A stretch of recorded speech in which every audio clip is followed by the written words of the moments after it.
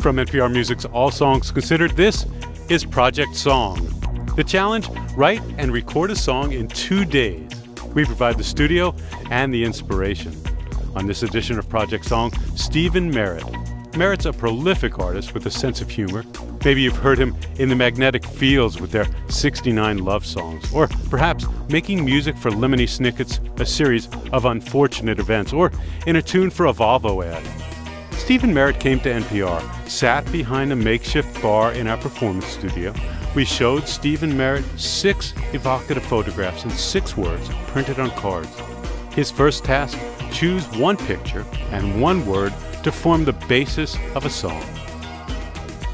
This photograph by Phil Toledano and the word 1974 would set the tone for a remarkable two days.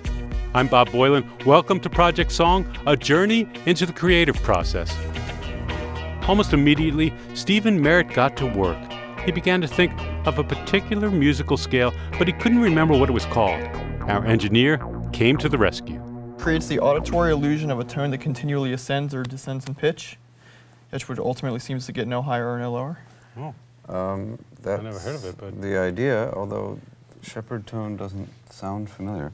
You want me to pull that up there and you can read Can the you article? print that? Um, yeah, I can.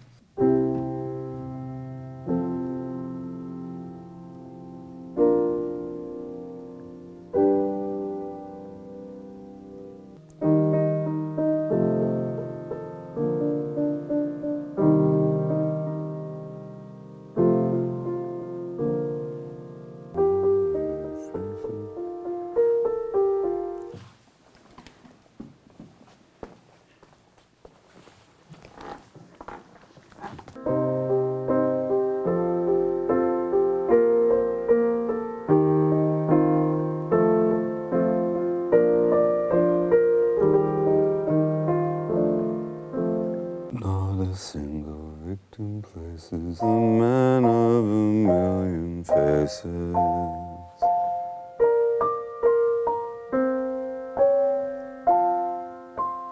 Quite the psychiatric cases, a man of a million faces, wielder of flails and maces.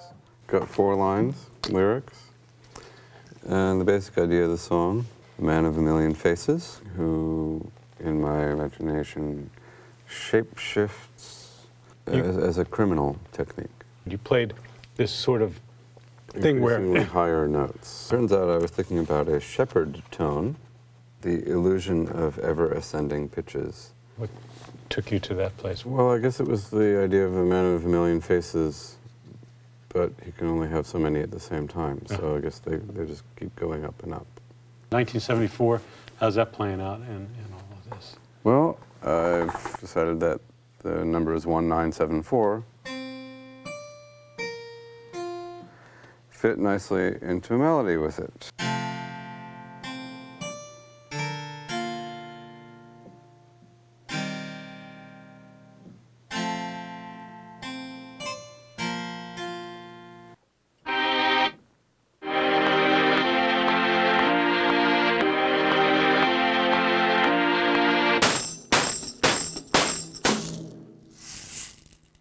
If the bass drum is on every quarter note, let's have the last two snares alternating on every second quarter note. You mean the last two snare hits you did? The last two snare hits, yeah. Okay. The last two snare hits, Agnes and Billy, goes Agnes, Billy, Agnes, Billy. I think I got you. Okay. In the darkness, she embraces the man of a million faces. Soon on back streets she paces, wearing her flimsy laces. Let me record a little piano.